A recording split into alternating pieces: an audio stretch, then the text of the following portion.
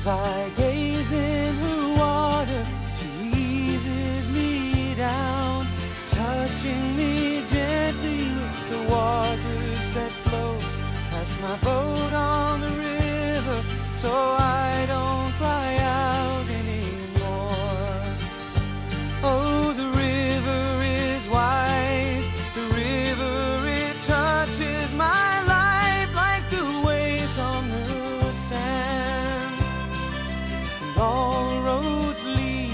tranquility base where the frown on my face disappears.